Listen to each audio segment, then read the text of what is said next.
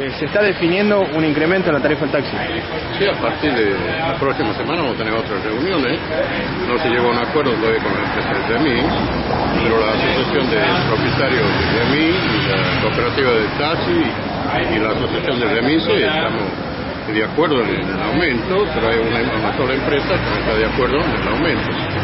No es gran aumento, digamos, para ponerse en posición de no hacer un aumento, porque tenemos un 18% del aumento que queremos hacer. No, es, no estamos pidiendo un 25 o 30%, como eh, los empleados públicos, los municipales, todos están pidiendo un 35 o 40%. Nosotros pensamos en el usuario que vivimos todos los días del, del trabajo del usuario que trabajamos nosotros.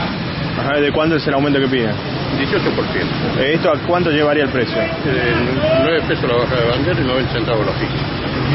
Eh, los costos en qué, en qué manera?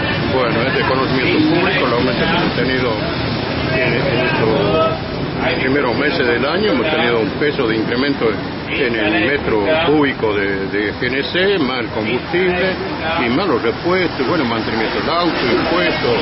Creo que es el momento de, de aumentar este momento, porque si no el capital de, de los taxistas y remiseros se va perdiendo. bien, eh, ¿ustedes necesitan ponerse todos de acuerdo para poder fijar el aumento? Bueno, nosotros para que conformidad a la gente, que los remises tengan la misma tarifa, como venimos haciéndolo hace muchos años, este, incluso ustedes toman un remis, van a saber que va a pagar lo mismo que un taxi, así que ese es el objetivo de nosotros. Si esto no se llega a un acuerdo, nosotros seguiremos lo que dice la ordenanza de nosotros, que comunicar a la municipalidad y que en cinco días que tome conocimiento y la municipalidad tendrá que autorizar. Sí, hace un año que, que digamos, eh, esta empresa viene siempre eh, poniendo trabas, chicanas para un aumento y discusiones y creo que no llegamos a un buen puerto por eso.